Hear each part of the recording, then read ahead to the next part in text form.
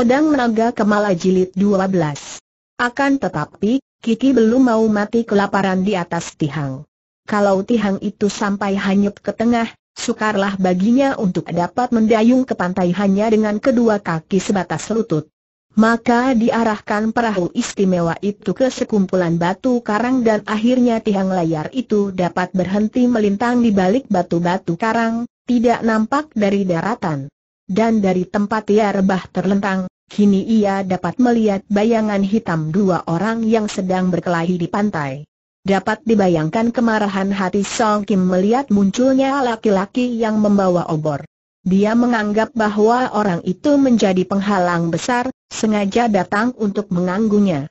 Demikianlah ulah orang yang sedang dimabok nafsunya sendiri, yang sedang mengejar suatu kesenangan. Siapa saja yang menjadi penghalang akan diterjangnya, tidak peduli orang itu sengaja menghalang maupun tidak sengaja. Semua penghalang, baik ataupun buruk, salah ataukah tiada, harus dihancurkan. Dia berlari cepat menyambut dan begitu berhadapan, tanpa banyak cakap lagi dia pun menerjang, mengirim pukulan-pukulan maut dengan dahsyat. Pukulan-pukulannya itu dilakukan dengan jurus-jurus maut karena Song Kim tidak mau gagal, tidak mau kepalang tanggung. Lebih cepat membunuh orang ini lebih baik agar dia tidak sampai terlambat untuk melaksanakan hasrat hatinya terhadap Kiki. Hei tanda seru orang itu berseru kaget bukan main dan membuat gerakan cepat. Bres tanda seru kini Song Kim yang terkejut setengah mati. Orang itu dapat menangkis pukulan-pukulannya dan hanya obornya saja yang terlepas dan padam, akan tetapi jangankan membunuh orang itu, merobohkannya pun serangannya tadi tidak mampu. Sebaliknya, tangkisan orang itu terasa amat kuat olehnya sehingga tangannya yang tertangkis sampai tergetar hebat. Jelaslah bahwa orang pembawa obor ini bukan seorang petani biasa seperti nampak pada pakaiannya tadi, melainkan seorang yang memiliki kepandaian silat tinggi dan tenaga sinkang yang cukup kuat. Pemuda Pulau Layar ini sama sekali tidak tahu bahwa tidak menyangka bahwa dia berhadapan dengan orang yang jauh lebih melampaui dugaan-dugaannya, karena dia berhadapan dengan murid terkasih dari Xiao Bin Hut, tokoh sakti dari Xiao Limpai itu. Pemuda itu adalah Tan Chikong. Seperti telah diceritakan di bagian depan, Tan Cikong pemuda gemblengan Xiao Bin Hout itu, menyelamatkan Chiu Kui Eng, putri tunggal dari orang yang menyebabkan kehancuran keluarga ayahnya, dari ancaman maut ketika Kui Eng dikeroyok oleh pasukan pemerintah dan keluarga gadis ini terbasmi habis, rumahnya terbakar gara-gara madat yang menjadi penyebab keruntuhan keluarga ayahnya. Madat pula yang tadinya mendatangkan kemewahan dan kekayaan pada keluarga Ciu, dan Madat juga yang akhirnya membinasakannya.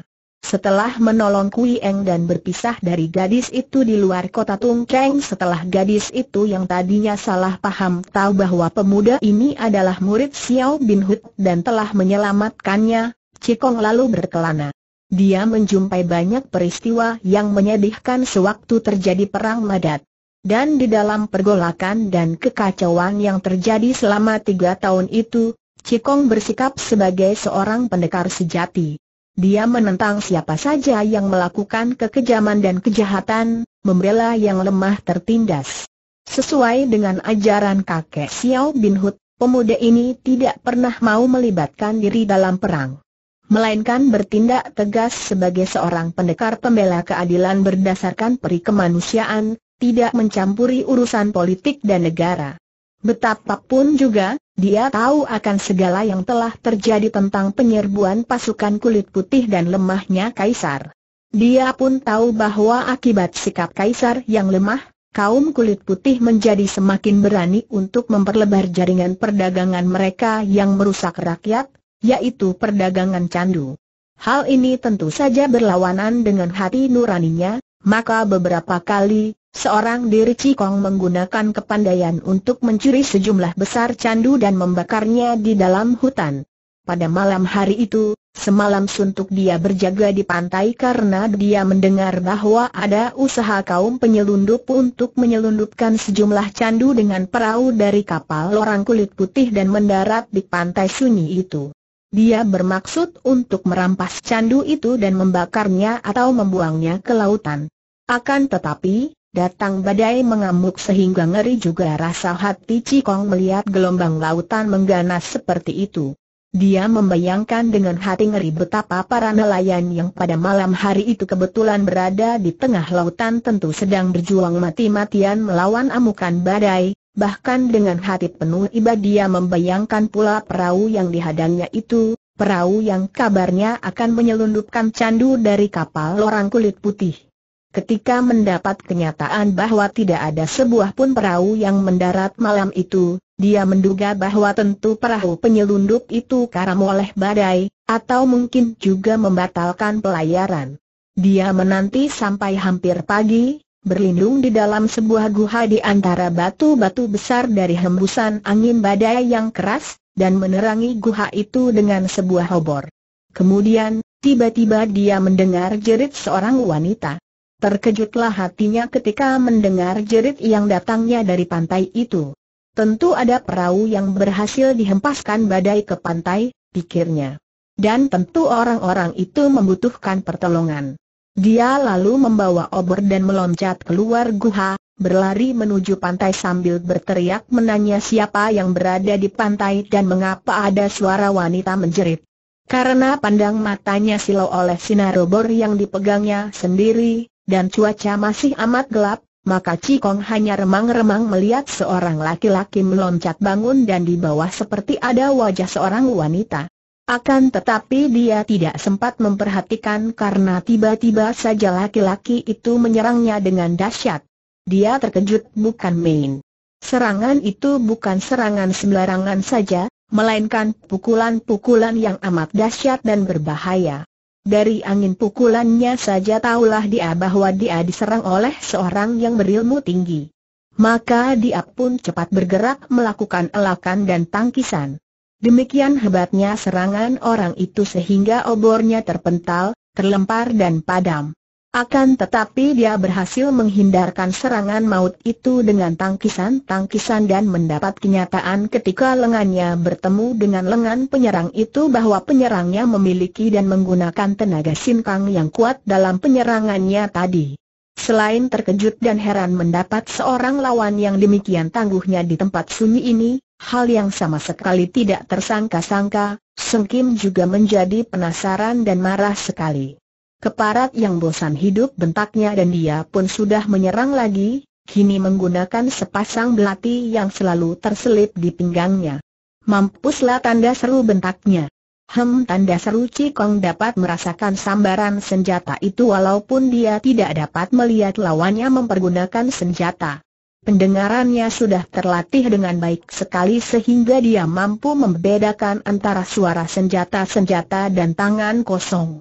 Segera Cikong mengisi kedua tangannya dengan ilmu kekebalan yang diajarkan gurunya, yaitu Tiat Chiang, tangan besi, sehingga dengan kedua tangannya itu dia mampu menangkis senjata tajam tanpa khawatir tangannya terluka. Karena lawannya agaknya hendak membunuhnya, diam-diam Cikong merasa heran bukan main. Sambil berloncatan ke sana sini dan kadang-kadang kalau terdesak menangkis dengan tangannya, Beberapa kali Cikong menyabarkannya. Tahan serangan. Mengapa engkau menyerangku, sobat? Di antara kita tidak ada permusuhan. Aku datang untuk menolong wanita yang menjerit tadi, akan tetapi, ucapan-ucapannya ini agaknya masih membuat penyerangnya menjadi semakin marah. Lawannya hanya mendengus dan memaki-maki, Serangannya menjadi semakin berbahaya sehingga akhirnya Cikong dapat menduga bahwa tentu wanita tadi menjerit karena ulah kejahatan orang ini. Dia teringat akan wanita yang menjerit tadi dan sambil mengelak, dia meloncat ke arah pantai di mana tadi samar-samar dia melihat seorang wanita menggeletak di situ. Akan tetapi, dapat dibayangkan betapa kaget rasa hatinya ketika wanita itu lenyap dari situ. Eh, di mana wanita tadi tanda tanya akan tetapi terpaksa dia harus cepat melempar tubuh ke belakang karena lawannya sudah menyerang lagi dengan hebatnya, menggunakan dua buah belatinya untuk menusuknya dari atas dan bawah. Serangan itu sedemikian hebatnya sehingga Cikong terpaksa harus melempar tubuh ke belakang lalu menggulingkan tubuhnya di atas pasir pantai. Ketika dia bangkit berdiri lagi dengan loncatan yang cepat, ternyata lawannya sudah lenyap dari situ. Kiranya ketika melihat semuanya lenyap, Sengkim tidak ada semangat lagi untuk membunuh orang yang dianggapnya menghalangi niat hatinya itu. Dia harus cepat melarikan diri, pikirnya. Ada beberapa hal yang memaksanya untuk segera melarikan diri dari situ, demi keselamatannya. Pertama, kini cuaca tidak lagi segelap tadi karena sinar matahari mulai muncul di balik permukaan air laut jauh di timur. Kedua, semuanya telah lenyap dan mungkin sekali semuanya berhasil melepaskan ikatan kaki tangannya. Ketiga, orang yang menjadi penghalang itu ternyata lihai bukan main sehingga kalau dia tidak mampu merobohkannya dalam waktu singkat, besar bahayanya akan kedahuluan sinar matahari dan kalau semuanya mengenalinya, tentu akan celakalah dia. Maka, mempergunakan kesempatan selagi lawannya bergulingan menghindarkan serangannya yang terakhir tadi, kembali membuktikan kelihayan lawan itu, dia lalu meloncat dan melarikan diri. Biarpun niat hatinya gagal untuk menguasai dan memperkosa semuanya, namun setidaknya semuanya tidak akan pernah menyangka bahwa dialah pelakunya. Sementara itu, melihat orang yang menyerangnya mati-matian tadi telah pergi, Cikong juga tidak berusaha untuk mencari atau mengejarnya. Dia menanti sampai sinar matahari mengusir kegelapan malam dan dia lalu melakukan penyelidikan, mencari-cari pecahan perahu atau mungkin ada mayat orang terdampar. Juga dia mencari-cari ke mana perginya wanita tadi. Dari tempat di mana dia melihat wanita tadi menggeletak, dia melakukan penyelidikan, akan tetapi tidak menemui jejak kaki di situ. Wanita itu lenyap begitu saja dan tiba-tiba hatinya terguncang. Jangan-jangan wanita itu terseret ombak dan dibawa ke tengah lautan. Dia memandang ke arah lautan. Ombak tidak begitu besar lagi, akan tetapi air masih belum tenang, tanda bahwa badai semalam telah mulai mereda dan yang nampak kini hanya bekas-bekasnya saja.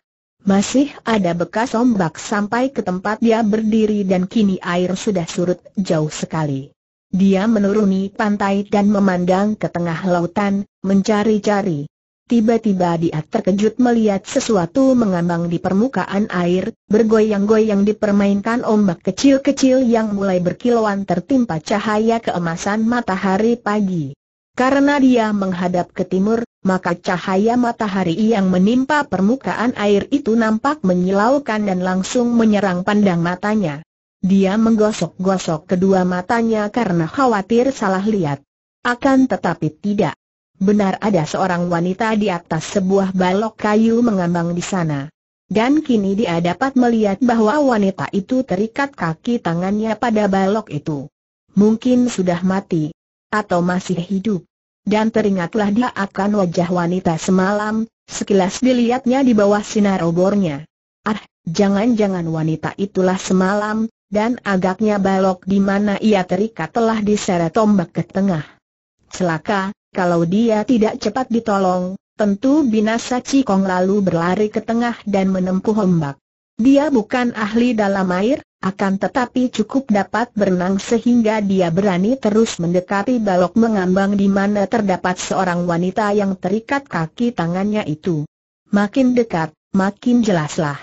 Benar seorang wanita, seorang gadis muda yang pakaiannya basah kuyup dan kedua matanya terpejam. Mungkin sudah mati, atau mudah-mudahan hanya pingsan saja. Kini dia tidak berjalan lagi di dasar lautan. Sudah mulai dalam dan terpaksa berenang melawan ombak kecil-kecil yang berlarian ke pantai. Terasa ringan tubuhnya pada mula-mula, akan tetapi makin lama makin berat. Sudah terlalu lama dia tidak pernah berenang, apalagi di lautan dan kegiatan ini ternyata memeras banyak tenaganya. Baju di pundak kanannya telah robek lebar akibat perkelahian tadi, dan air laut terasa hangat. Celakanya, balok itu agaknya juga bergerak terbawa ombak, makin ke tengah seperti menjauhinya, atau melarikan diri darinya. Dan balok itu tidak terus ke tengah, melainkan bergerak ke utara. dikejarnya terus sambil berenang. Sungguh aneh, balok itu kini meluncur ke barat, lalu kembali ke selatan. Bagaimana balok itu dapat bergerak seperti itu? Sama sekali tidak seperti terbawa ombak, melainkan lebih mirip didorong sesuatu dari bawah. Jangan-jangan di bawah ada ikannya, ikan besar yang mendorong-dorong balok itu karena ingin makan tubuh gadis itu yang mungkin sudah menjadi mayat? Tubuh itu tidak bergerak-gerak, dan muka yang tengadah itu nampak pucat sekali. Muka yang amat cantik. Pikiran ini menimbulkan kekhawatiran dan Cikong berenang semakin cepat. Napasnya mulai terengah-engah karena sudah berjam-jam dia melakukan pengejaran tanpa hasil. Akhirnya dia mogok, tengadah dan terengah-engah menghirup udara sebanyaknya. Dia maklum bahwa kalau dia terus mengejar, amat berbahaya baginya. Tenaganya dapat habis dan dia tentu akan tenggelam. Akan tetapi, kini balok itu bergerak-gerak menghampirinya. Besar lagi semangat Cikong. Begitu dekat balok itu, tinggal meraih saja ujungnya, akan tetapi ketika dia meluncur dan meraih, balok itu pun menjauh lagi. Cikong merasa gemas. Mungkinkah ini? Balok itu seperti mempermainkannya. Dia melihat sehelai tali terseret di belakang balok dan tahulah dia bahwa tali itu adalah kelebihan tali pengikat kaki tangan gadis itu, cukup panjang. Diam-diam dia lalu mendekati tali itu setelah dia pura-pura berhenti kehabisan napas lagi dan balok itu kembali mendekati. Dan tiba-tiba, sebelum balok itu sempat menghindar, dia sudah menyambar tali itu, dan menariknya. Ah tanda seru terdengar gadis itu mengeluarkan seruan lirih. Giranglah hati Cikong dan dia lupa akan keanehan balok yang pandai berenang dan menghindar itu. Gadis itu masih hidup. Syukurlah engkau masih hidup, Nona. Bertahanlah, biar aku akan menarikmu ke pantai katanya sambil terengah-engah. Mulailah dia berenang menuju ke pantai sambil menarik tali itu.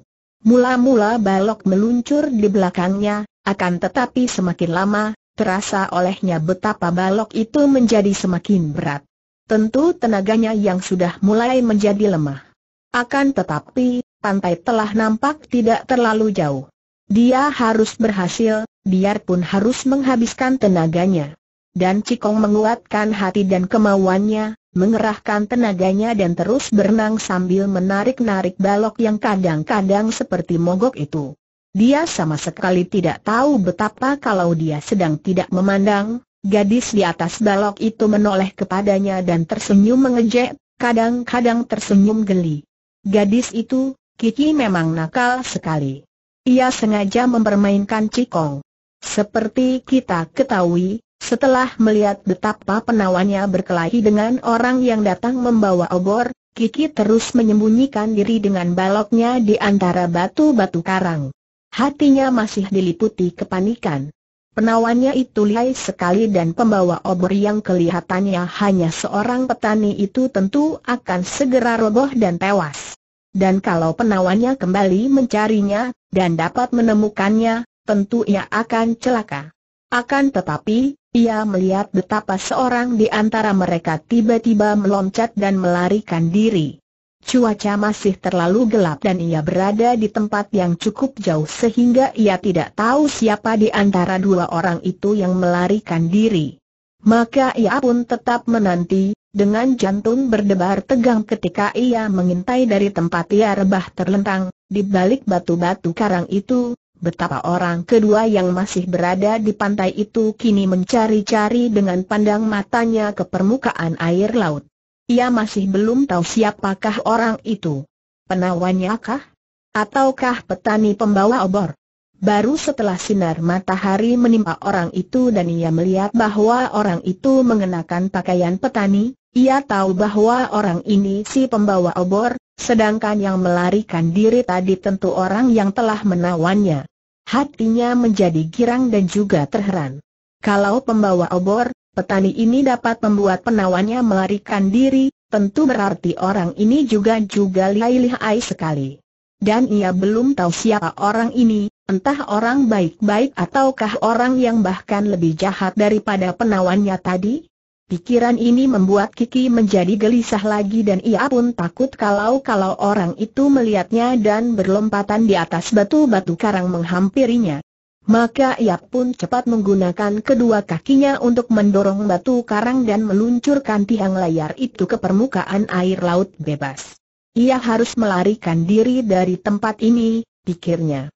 Lalu ia melihat betapa petani itu mengejarnya sambil berenang. Dan melihat Care petani itu berenang, Kiki hampir tertawa. Kalau ia menghendaki, orang itu sampai mati takkan pernah dapat menangkapnya, walaupun ia hanya menggerakkan tiang layar itu dengan gerakan kedua kaki sebatas lutut saja.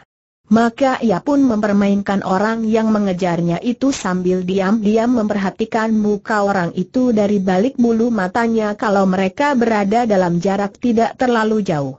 Hampir ia tertawa keras ketika melihat betapa petani muda itu, yang kepandaiannya berenang hanya dangkal saja, terengah-engah kehabisan napas. Akan tetapi ketika kini sinar matahari sudah terang dan ia dapat melihat wajah petani muda itu dengan jelas, diam-diam ia tertarik. Petani muda itu ternyata memiliki wajah yang gagah, tubuh yang tegap. Nampak jelas membayangkan kekuatan dalam tubuh itu. Karena melihat orang itu sudah kepayahan, Kiki menjadi semakin berani.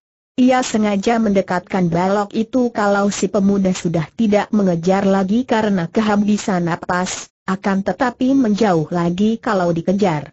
Seperti jinak-jinak merpati, dijauhi mendekat kalau hendak ditangkap terbang menghindar.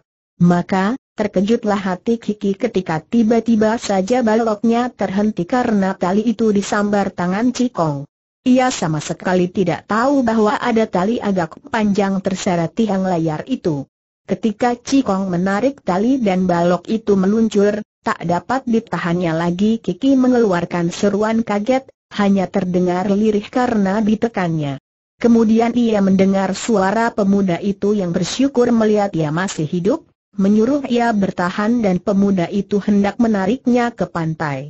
Suara ini demikian halus dan lembut, dan jelaslah bahwa pemuda itu tidak mempunyai niat buruk, melainkan benar-benar hendak menolongnya. Berkurang kekhawatirannya, namun ia tetap waspada dan pura-pura pingsan, tidak bergerak maupun membuka mata ketika balok itu ditarik oleh Cikong melalui tali yang dipegangnya. Akan tetapi dasar berwatak nakal, diam-diam kedua kakinya utak-utik, diputar-putar sehingga kedua kaki itu menjadi penahan ketika balok ditarik, maka tidaklah mengherankan kalau Cikong merasa adanya perlawanan yang membuat balok terasa semakin berat. Dia memaksa diri dan akhirnya kedua kakinya menyentuh dasar laut, tak jauh dari pantai. Dengan tenaga yang hampir habis, Cikong menyeret balok itu, berjalan terhuyung-huyung menuju pantai, seluruh tubuhnya terasa letih sekali. Tenaganya terasa hampir habis. Penggunaan tenaga di darat dan di air sungguh amat berbeda, terutama penggunaan pernapasan. Dan otot-otot di tubuh juga harus dibiasakan dengan suatu gerakan. Otot-otot yang biasa dipergunakan untuk latihan silat, biarpun seluruh tubuh bergerak, namun tidak ada gerakan silat yang seperti gerakan orang berenang yang harus mengulang terus-menerus gerakan kaki dan lengan secara tertentu. Otot-ototnya yang tidak biasa dengan gerakan ini tentu saja menjadi cepat lelah. Akan tetapi Cikong seorang pemuda gemblengan yang sejak kecil telah dididik dengan care-care Xiao Limpai yang keras dan tepat sekali. Biarpun dalam keadaan teramat letih, ketika dia menarik balok itu ke pantai, diam-diam dia pun mengatur pernapasan dan mulai menghimpun tenaga agar kekuatannya pulih. Akhirnya tiang layar itu dapat diseret sampai ke pantai, jauh dari air. Cikong menghentikan tarikannya, lalu berlutut di atas pasir dan memeriksa gadis itu. Dia menaruh telapak tangan di depan hidung dan mulut yang tak terbuka itu dan hatinya terguncang. Gadis itu tak bernapas lagi. Cepat dia meraba nadi pergelangan tangan dan mendapat kenyataan bahwa detik pergelangan itu pun lemah sekali. Celaka, pikirnya. Kalau gadis ini tidak cepat bernapas kembali, denyut jantungnya akan makin melemah dan akhirnya berhenti. Dia teringat akan care pengobatan terhadap orang yang baru saja tenggelam, yang sudah berhenti pernapasannya.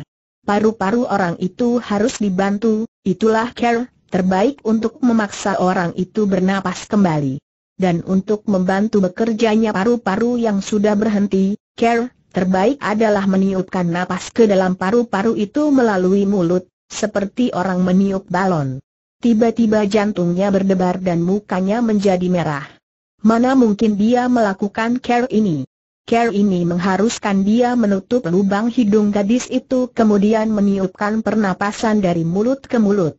Akan tetapi, kalau dia ragu-ragu, terlambat sedikit saja gadis ini akan mati.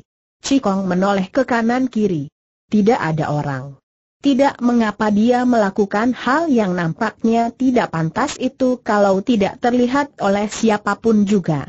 Maksudnya kan untuk menyelamatkan nyawa, sama sekali bukan untuk berbuat kurang sopan. Betapapun juga, dia meragu dan diguncangnya pundak gadis itu. Nona, Nona tanda seru. Sadarlah, Nona tanda seru akan tetapi ketika dia mengguncang pundak, hanya kepala Nona itu yang terkulai ke kanan kiri dengan lemasnya, dan napas itu masih juga belum nampak bekerja. Tentu saja Cikong tidak tahu bahwa gadis ini sejak kecil telah dilatih dengan ilmu bermain di dalam air dan telah mempelajari ilmu yang khusus untuk itu, ialah penghentian dan penahanan napas. Berkat latihannya, gadis itu dapat menahan napas sampai lama sekali di dalam air, hal yang tidak dapat dilakukan oleh dia sendiri sekalipun. Karena itulah, sejak tadi Kiki tidak bernapas. Tentu saja bukan karena ia pingsan, melainkan karena kenakalannya untuk menggoda orang, juga untuk melihat apa yang akan dilakukan penolongnya itu. Cikong lalu menggunakan jari-jari tangannya yang kuat membuat putus tali temali itu dan diam-diam Kiki terkejut dan kagum. Jari-jari tangannya telah membuat putus tali-tali tanpa banyak kesukaran. Ia sendiri belum tentu dapat melakukan hal ini karena tali itu telah menjadi ulet dan kuat sekali setelah terendam air. Ia menjadi semakin berhati-hati dan biarpun kini kaki tangannya sudah bebas dan pemuda itu mengangkat badannya dengan menyorongkan lengan ke bawah punggungnya, kemudian menarik tiang layar itu sehingga tubuhnya terletak di atas pasir yang lunak dan hangat, ia masih pura-pura pingsan. Ia membiarkan jalan darah mengalir lancar kembali di kaki dan lengan yang tadi terikat kuat dan masih menahan napasnya. Karena pemuda petani itu telah membebaskan kaki tangannya, maka kecurigaannya berkurang. Makin yakin hatinya bahwa pemuda ini memang tidak mempunyai niat buruk seperti penawannya semalam, melainkan benar-benar hendak menolongnya belaka. Akan tetapi kenakalannya membuat ia ingin terus menggoda penolongnya ini, hendak dilihatnya apa yang akan dilakukan penolong yang lihai ini kalau melihat ia pingsan dan tidak bernapas lagi. Maaf, aku terpaksa harus melakukan ini untuk menolongmu, Nona. Tiba-tiba pemuda itu berkata lirih dan kedua tangan yang kuat itu lalu memegang dagu dan memencet hidungnya dan memaksa mulutnya terbuka, kemudian tiba-tiba Kiki merasa betapa mulutnya tertutup oleh sebuah mulut lain. Ih, dos tanda seru tubuh Cikong terlempar ke atas dan terbanting jatuh ke atas pasir ketika tiba-tiba Kiki menendang dan mendorong dadanya dengan kekuatan yang amat dahsyat. Ah tanda tanya Cikong yang sama sekali tidak menduga hal itu dapat terjadi, tidak dapat menghindarkan dirinya yang ditendang dan didorong sedemikian kerasnya. Ketika tubuhnya terlempar ke atas kemudian terbanting, dia masih bengong dan kini matanya terbelalak memandang kepada Kiki dan dia terbatuk-batuk keras karena tendangan pada dadanya tadi sungguh amat keras. Kalau bukan dia yang memiliki tubuh kuat terlatih, tentu akan roboh tewas atau setidaknya akan terluka parah. Kiki sudah meloncat berdiri setelah tadi menendang dan mendorong tubuh Cikong. Ia mengalami guncangan batin yang hebat ketika tiba-tiba merasa pemuda itu menempelkan mulut ke mulutnya. Teringatlah ia akan semua pengalamannya ketika penawannya semalam menggelutinya dan menciuminya, juga penawannya itu mencium mulutnya secara menjijikan sekali. Kini, otomatis ia menggunakan lengan bajunya untuk menggosok-gosok bibirnya, Seolah-olah hendak menghapus bekas sentuhan bibir Cikong juga sekaligus menghapus semua cuman yang dilakukan oleh penawannya semalam. mukanya menjadi merah, sepasang matanya mengeluarkan sinar berapi ditujukan kepada Cikong dengan penuh kebencian. Apa, apa yang kau lakukan tadi, Nona tanda tanya Cikong masih kebingungan, karena terkejut dan juga karena kesakitan. Membunuh manusia macam kamu tanda seru Kiki sudah menerjang dengan penuh kemarahan dan kebencian. Semua laki-laki sama. Kurang ajar, hanya ingin mempermainkan dan memperkosa wanita. Semua laki-laki harus dibunuhnya. Terjangan itu merupakan pukulan disusul tendangan yang dahsyat sekali. Karena Cikong masih belum percaya bahwa gadis yang telah diselamatkan nyawanya itu benar-benar akan menyerangnya, maka dia pun masih lengah dan tidak membela diri dengan sungguh-sungguh. Akibatnya, biarpun dia dapat menghindarkan pukulan, tendangan itu tetap saja singgah di perutnya. Duk, tanda seru kembali dia terjengkang dan terbanting ke atas pasir. Untung pasir itu lunak dan dia sudah bersiap dengan melindungi perutnya menggunakan tenaga dalam sehingga dia hanya terjengkang dan terbanting saja, tidak menderita luka parah. Akan tetapi sebelum dia sempat bangkit, gadis itu seperti harimau betina saja sudah menyerbu lagi dengan tendangan-tendangan berikutnya yang ditujukan ke arah kepalanya. Barulah Cikong terkejut setengah mati karena tendangan-tendangan ini adalah tendangan-tendangan maut yang dapat membunuh orang. Cepat dia menggerakkan tubuhnya bergulingan lalu meloncat berdiri. Ketika gadis itu menyerbu dengan pukulan kedua tangan secara cepat dan bergantian. Cikong mengangkat kedua tangannya dan menangkis. Duk!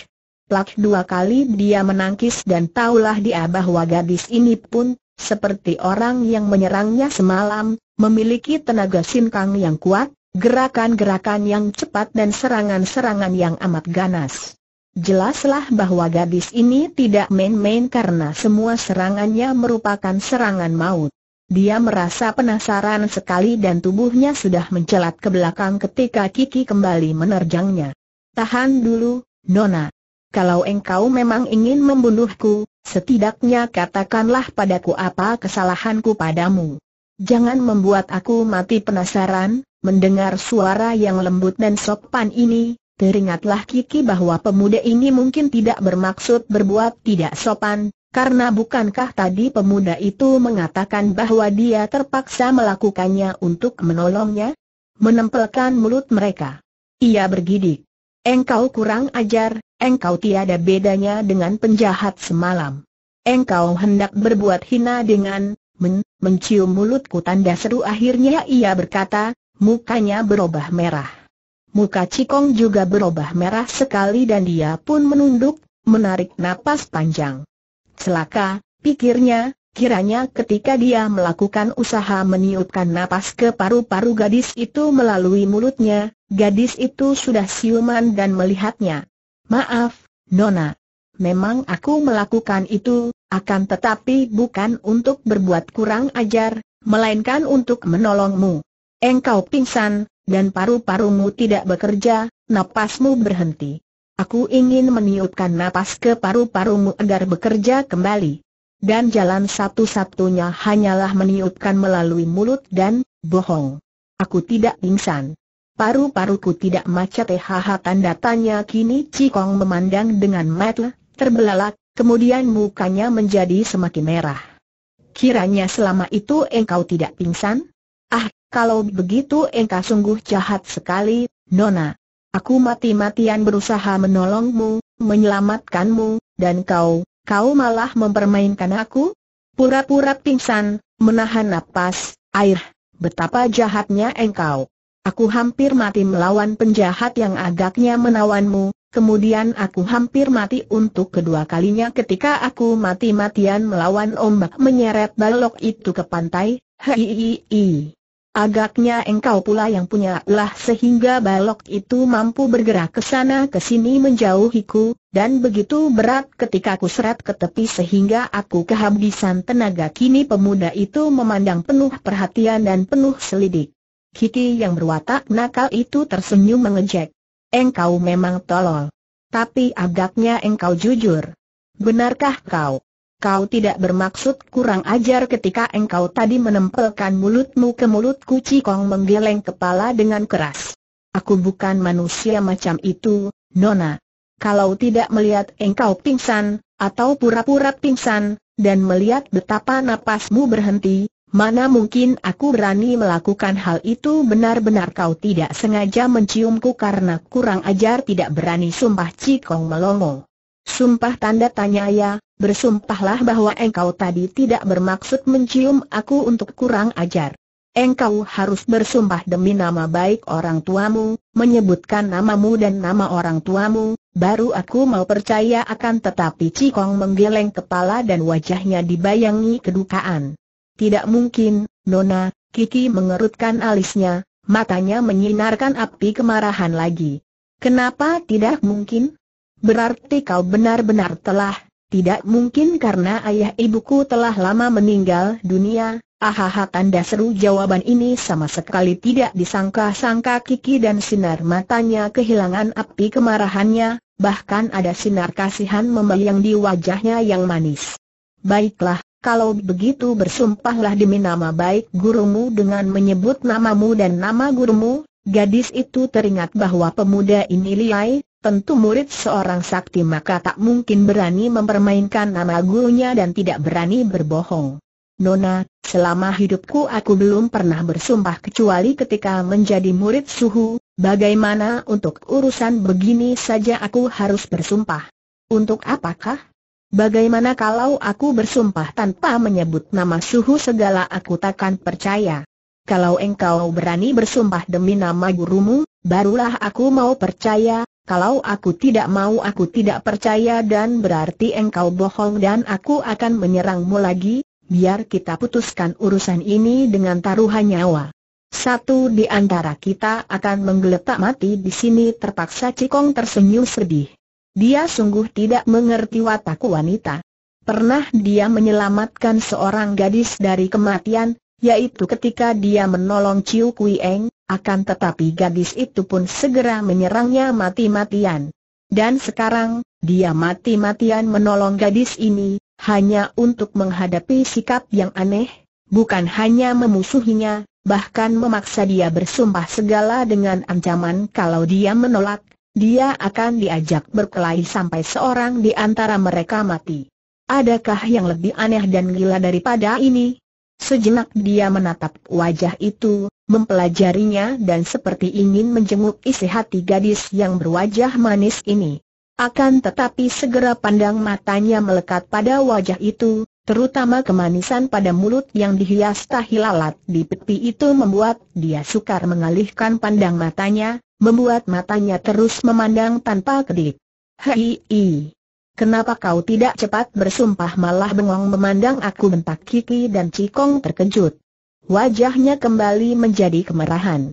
Baiklah, baiklah, dia mengalah agar cepat selesai berurusan dengan gadis luar biasa ini. Aku Tan Cikong, ah, jadi namamu Cikong dan kau si Tan Cikong mengangguk dan mengulang sumpahnya. Aku Tan Cikong, bersumpah demi nama Suhu Nam San Losu, gurumu itu bernama Nam San Losu, apakah kedudukannya di tempat perguruan Mu Cikong mengerutkan alisnya melihat kecerewetan gadis itu, akan tetapi dia menjawab juga. Suhu Nam San Losu seorang ketua kuil, lalu dia melanjutkan dengan mengulang kembali sumpahnya, aku, Tan Cikong, bersumpah demi nama Suhu Nam San Losu dan para suhu di Xiao Limpai, air, jadi engkau murid Xiao Limpai? Pantas engkau lihai. Menurut kata ayah, tokoh Xiao Limpai yang paling lihai pada saat ini adalah Xiao Bin Hud. Apa muka Xiao Bin Hud itu Cikong menjadi jengkel, akan tetapi ditahannya pula. Beliau adalah kakek guruku. Hanya kakek guru? Jadi engkau hanya cucu muridnya? Ah, kalau begitu, untung engkau tadi tidak jadi berkelahi dengan aku, kenapa kalau dilanjutkan, tentu engkau akan mati di tanganku. Menurut ayah, kepandaian Xiao Bin Hud itu setingkat dengan ayahku. Aku putri ayah, berarti muridnya, kepandaianku setingkat lebih rendah dari ayah. Engkau hanya cucu murid Xiao Bin Hud, kepandaianmu tentu dua tingkat lebih rendah, jadi aku setingkat lebih tinggi daripada engkau. Maka, kalau kita berkelahi, engkau tentu akan mati. Eh, kenapa engkau belum juga bersumpah? Apa ingin berkelahi saja agaknya mendengar bahwa pemuda itu hanya cucu murid Xiao Bin Hut, hati Kiki menjadi besar dan memandang rendah. Cikong menjadi gemas bukan main. Ingin rasanya dia membanting topi kalau saja saat itu ada topi di atas kepalanya. Nona, sampai setahun di sini pun aku tidak akan dapat bersumpah kalau engkau terus memotong-motong ngomonganku. Kalau memang engkau ingin aku bersumpah, tutup dulu mulutmu Cikong sudah merasa menyesal karena kemarahannya membuat dia mengeluarkan kata-kata kasar, dan dia tidak akan heran kalau gadis itu menjadi marah-marah oleh kekerasannya. Akan tetapi kembali dia melongo saking herannya. Gadis itu sama sekali tidak marah oleh kekasarannya, bahkan tersenyum demikian manisnya. Dia tidak tahu bahwa sejak kecil Kiki hidup di lingkungan yang kasar dan terbiasa oleh kekerasan, maka bahasa kasar yang dikeluarkan Cikong bahkan merupakan bahasa yang amat dikenalnya, sebaliknya sikap halus sopan malah membuat ia tak senang dan curiga. Baik, baik, bersumpahlah, Tan Cikong, aku yang salah tadi, kata Kiki sambil terkekeh. Dengan hati masih mendongkol, Gikong terpaksa mengulang kembali sumpahnya.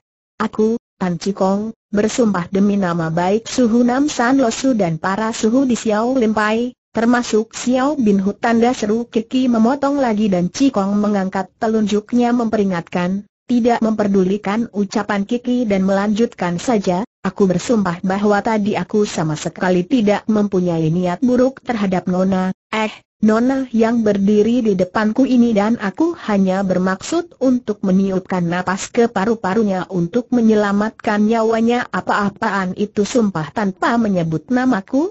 Masa hanya Nona yang berdiri di depanku Kiki mencela. Habis aku belum tahu namamu, disuruh menyebut apa namaku Kiki Hem, nama apa itu Cikong mengerutkan alisnya, merasa dipermainkan lagi. Kau tidak percaya? Namaku Tengki dan semua orang memanggilku Kiki, ah, kau si Teng. Hem, apakah ada hubunganmu barangkali dengan Tengkok Bu yang berjuluk Ketok sepasang metu yang indah jeli itu terbelalak? Ah, kau sudah mengenal nama ayahku ayahmu tanda tanya Cikong benar-benar terkejut setengah mati.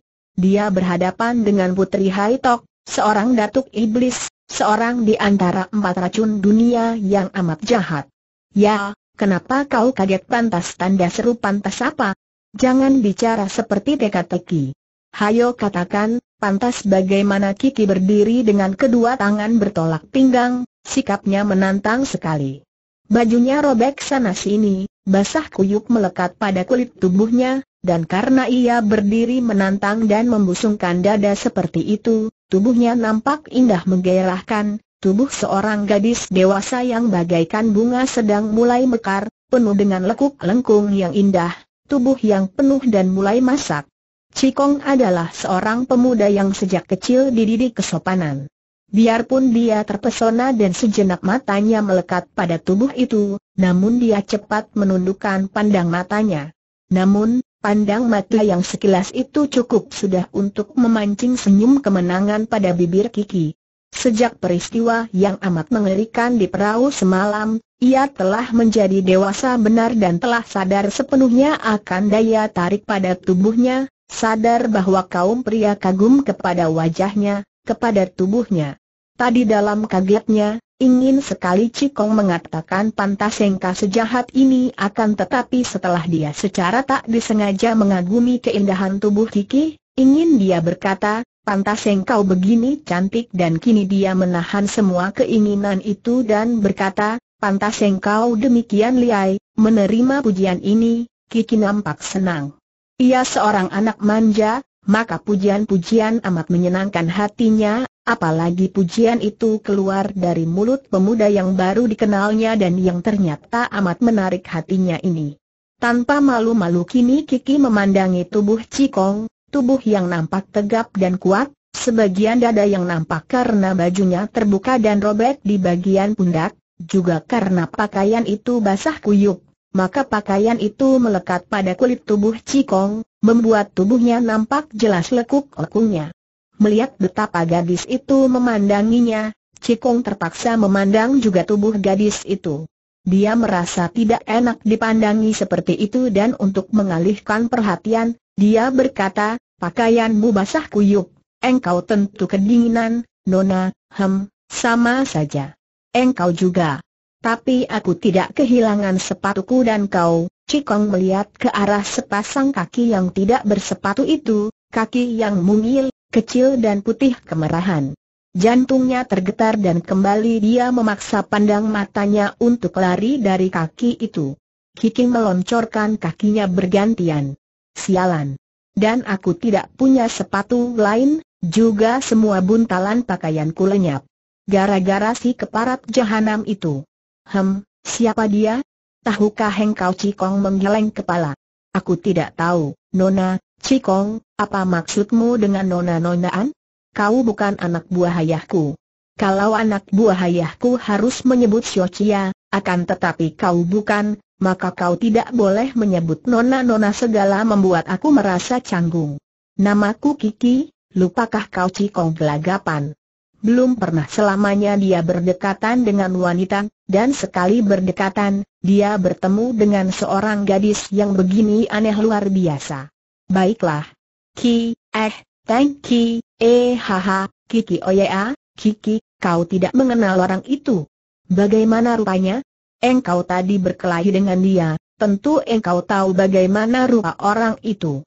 Aku hendak mencarinya dan kalau dapat kutemukan, akan kurobek-robek mulutnya sampai hancur lebur, akan kucabut hidungnya dan kuberikan kepada burung gagak, kulumatkan kepalanya, ku, aku tidak dapat melihat mukanya, non, eh, Kiki. Cuaca amat gelap, potong Cikong yang merasa ngeri mendengar ancaman-ancaman sadis itu. Sayang sekali. Tapi tentu engkau dapat mengenal bagaimana bentuk tubuhnya, apa pakaiannya dan bagaimana ciri-cirinya kembali Cikong menggeleng kepalanya. Aku tidak tahu. Terlalu gelap dan gerakannya terlalu cepat. Yang ku ketahui hanya bahwa dia itu lihai sekali, tiba-tiba gadis itu menghentakkan kakinya ke atas pasir. Haya kiranya engkau ini orang bodoh sekali, Cikong-cikong terkejut lagi, tidak mengerti mengapa gadis itu tiba-tiba memakinya bodoh. Aku, Bodoh tanda tanya ya, bodoh sekali. Engkau hanya bilang tidak tahu, tidak tahu, kau bodoh sekali dan aku paling benci sama orang bodoh Cikong menghela napas panjang. Apa boleh buat, memang aku bodoh. Akan tetapi kalau engkau merasa dingin dan perlu mengganti pakaianmu untuk sementara agar engkau dapat menjahit bagian yang robek dan dapat mencuci bersih lalu menjemurnya, Aku masih mempunyai bekal pakaian untuk sementara kau pakai, berkata demikian, Cikong lalu mengambil buntalan pakaiannya yang disimpan tak jauh dari situ. Wajah Kiki nampak berseri gembira. Ah, bagus sekali, Cikong. Memang pakaianku ini perlu dicuci, dijemur dan dijahit. Wah, pakaianmu semua begini sederhana, seperti pakaian petani gunung. Pantasnya engkau dahulu menjadi Hwasyo Xiao Lim Si saja, kata Kiki sambil memilih-milih satu setel pakaian. Cikong tersenyum. Dalam keadaan biasa seperti itu, harus diakuinya bahwa Kiki merupakan seorang gadis yang lincah jenaka dan gembira. Memang aku nyaris menjadi Hwasyo, Kiki. Nah, kau ganti pakaianmu, biar aku bersembunyi dulu, pemuda itu hendak melangkah pergi. Jangan pergi tiba-tiba Kiki membentak. Kau kira aku dapat kau tipu? Nah, berdiri saja di situ, akan tetapi engkau harus membelakangi aku. Awas, jangan berbalik sebelum aku mengatakan selesai Cikong tertegun, akan tetapi menahan senyum dan berdiri di tempatnya dan membalikan punggung membelakangi gadis aneh itu. Kiki lalu menanggalkan semua pakaiannya yang basah kuyup, terus mengintai ke arah Cikong tanpa kedip, dan tergesa-gesa mengenakan pakaian Cikong yang sederhana itu. Tentu saja terlalu besar dan kedodoran, akan tetapi bagaimanapun juga pakaian itu menutupi seluruh tubuhnya dan ia merasa hangat oleh pakaian kering itu. Sudah selesai, kau boleh berbalik, Cikong berbalik dan sudah menahan diri agar tidak ketawa. Akan tetapi dia memang tidak perlu tertawa. Gadis itu dalam pakaian yang kebesaran tidak nampak menggelikan, bahkan nampak makin manis saja. Kiki, kenapa tadi kau bilang bahwa aku hendak menipumu Cikong yang merasa penasaran menuntut keterangan? Semua laki-laki sama saja. Genit dan ceriwis. Pernah ada dua orang anak buah ayahku hajar sampai hampir mampus karena mereka itu mengintai ketika aku mandi. Laki-laki paling suka mengintai wanita mandi atau tukar pakaian, dan kau pun seorang laki-laki. Kau bilang mau pergi, Siapa tahu engkau hanya sembunyi agar dapat mengintai aku selagi aku bertukar pakaian hampir saja Cikong marah oleh tuduhan ini kalau dia tidak ingat bahwa gadis ini memang berwatak aneh, kekanak-kanakan dan kolokan sekali. Maka dia hanya tersenyum. Aku bukan laki-laki semacam itu, Kiki. Nah, sekarang aku yang mau berganti pakaian, tanpa berkata apa-apa lagi dia lalu pergi ke belakang batu-batu karang besar dan di sana dia berganti pakaian kering. Ketika dia kembali, Kiki nampak cemberut. Eh, kau mengapa Cikong bertanya? Kau memang bodoh. Aku bisa mencuci dan menjemur pakaianku ini, akan tetapi bagaimana dapat menjahit yang robek Cikong tersenyum.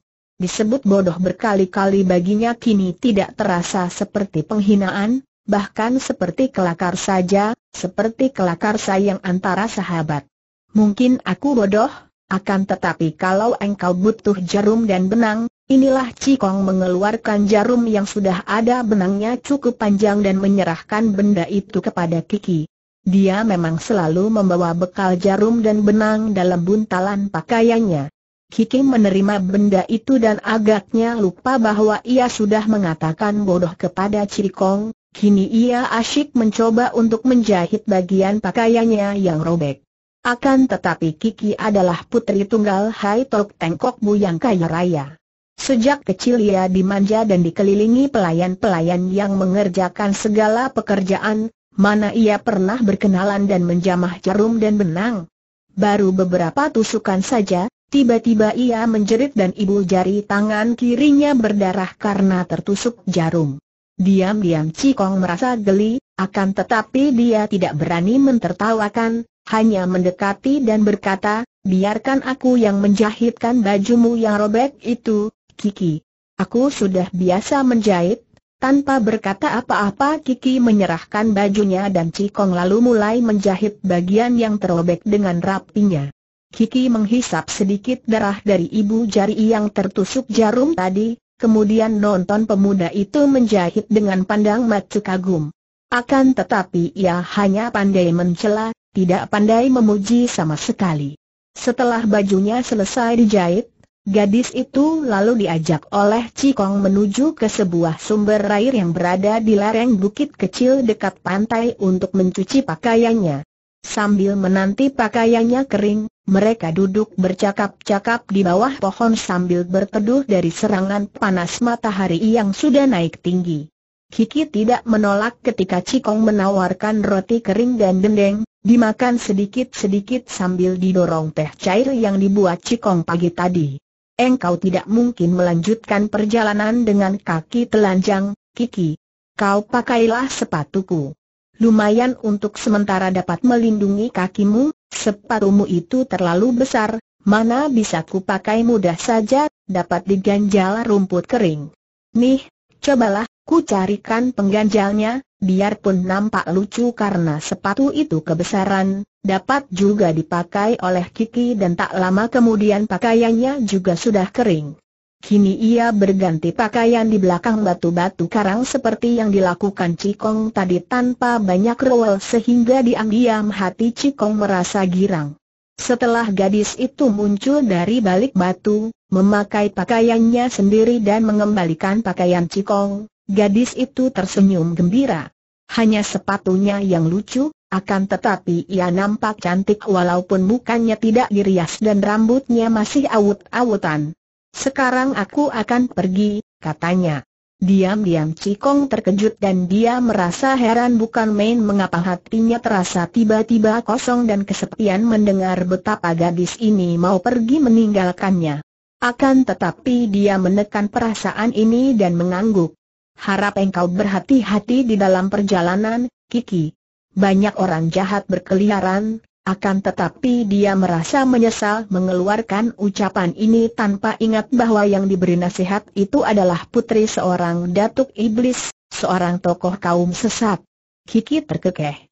Aku sendiri putri seorang datuk, masa takut terhadap orang jahat? Yang kutakuti adalah orang-orang yang pura-pura dan yang menyerangku dari dalam gelap. Ia bergidik teringat penjahat di dalam perahu semalam. Kau hendak pergi ke manakah Cikong tak dapat menahan hatinya bertanya. Aku hendak merantau, eh, baru aku ingat. Engkau begini liai, tentu engkau banyak mengenal tokoh Kang Ou, bukan? Cikong, apa engkau mengenal seorang bernama Keanjit, murid pertama dari Tian Tok Cikong terkejut, dan baru, dia teringat bahwa gadis ini Putri Hai Tok, tentu saja mengenal Tian Tok dan murid-muridnya. Akan tetapi dia menekan perasaannya yang menegang dan menjawab, aku pernah mendengar namanya. Apakah engkau mengenal dia, Kiki? Dan mau apa engkau mencari dia? Kabarnya dia itu lihai dan berbahaya sekali, dan kini Cikong mendengar jawaban yang membuat dia kembali bengong. Aku cari dia karena dia telah melarikan pusaka Giok Liong Kiam. Ayah menyuruh aku mencarinya dan minta pusaka itu dari tangannya, kalau dia tidak menyerahkan hem, akan kujeler telinganya dan kuhajar dia sampai kapok dan kurampas pusaka itu, hampir saja Cikong tertawa. Dia tidak percaya kalau Hetok yang menyuruh gadis ini pergi sendiri saja mencari Koanjit. Seorang gadis yang masih begini mentah, yang seolah-olah seekor burung yang baru belajar terbang, tidak tahu tingginya langit dalamnya lautan luasnya bumi, disuruh mencari Koanjit dan merampas Giok Liong Kiam? Akan tetapi tentu saja dia tidak mau mengejek. Kiki, hati-hatilah. Seluruh tokoh Kang Ou mencari-cari Koanjit itu dan semua orang pandai siap memperebutkan pusaka Giok Liong Kiam. Engkau baru berjumpa dengan aku saja sudah berani membicarakan urusan pusaka itu.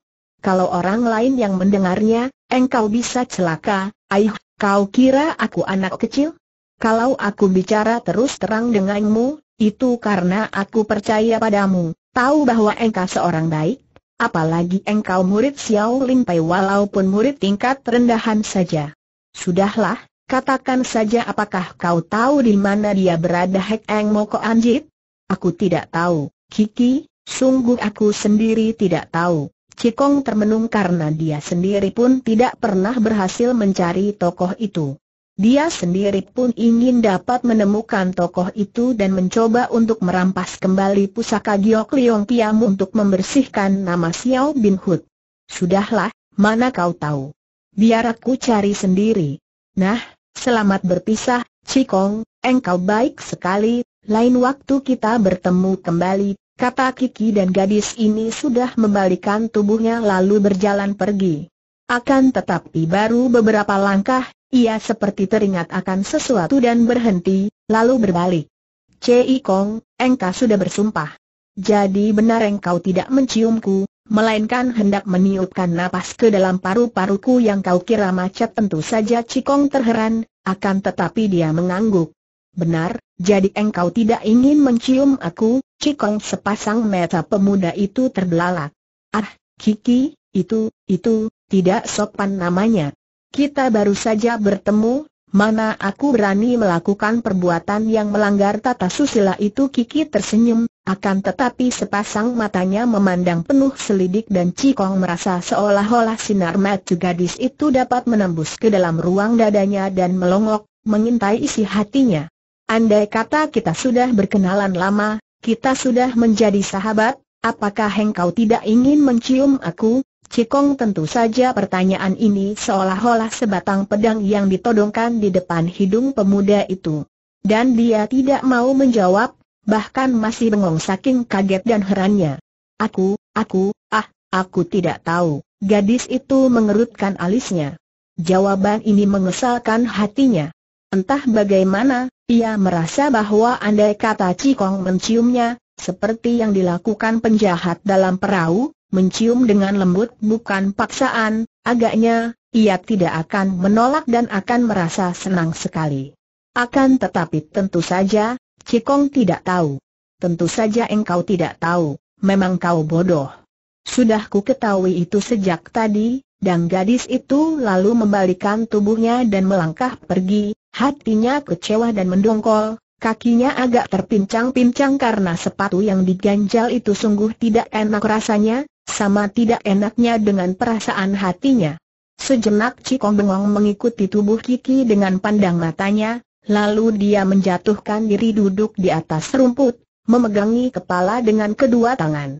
Memang aku bodoh tanda seru dan ini bukan pura-pura. Dia merasa benar-benar bodoh dan tidak mengerti sama sekali akan sikap Kiki. Setelah gadis itu tidak nampak bayangannya lagi, Cikong membayangkan wajah Kiki dan juga wajah Kui Eng. Ketika dia berjumpa dengan Kui Eng, dia pun dibikin bingung dan tidak mengerti akan sikap gadis itu.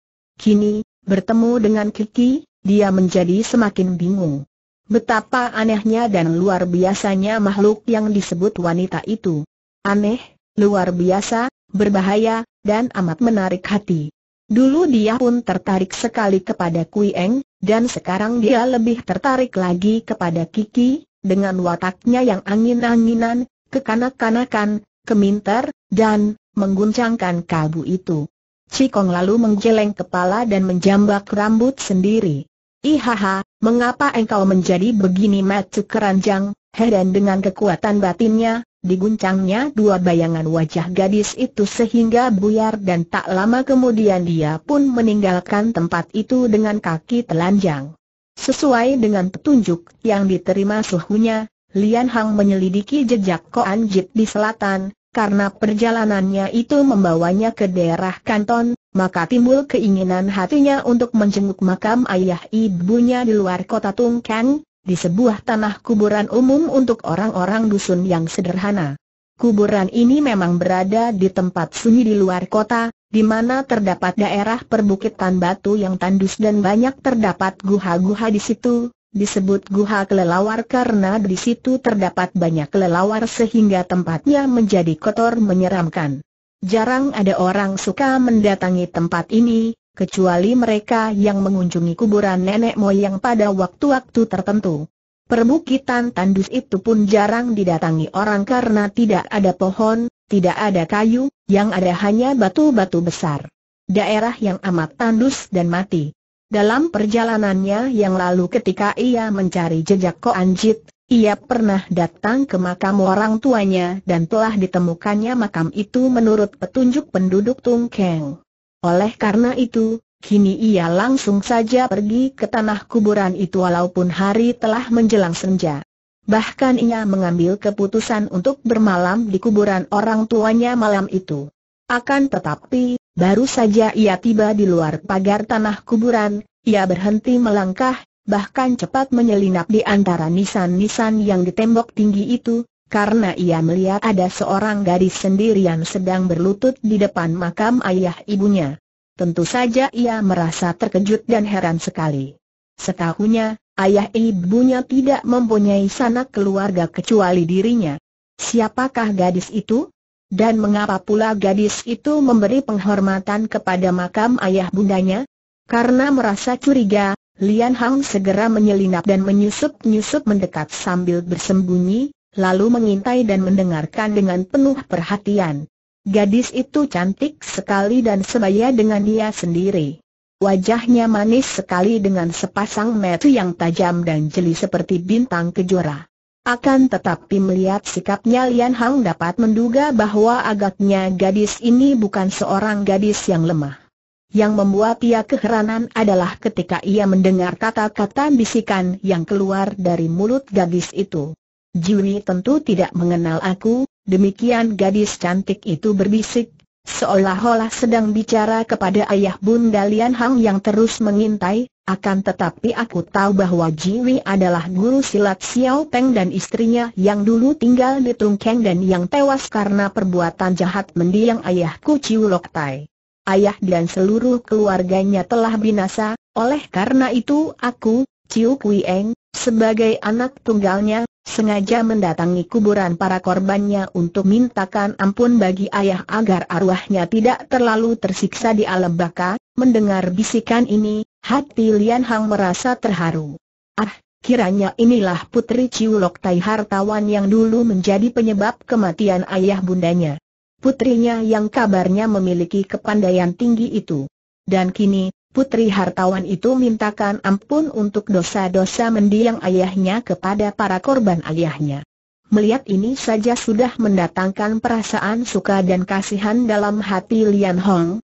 Tidak, ia tidak akan memusuhi gadis ini, biarpun tadinya memang ia mengandung maksud untuk menegur dan meminta pertanggungan jawab putri keluarga Ciu atas dosa yang dilakukan Ciu Lok Tai terhadap orang tuanya.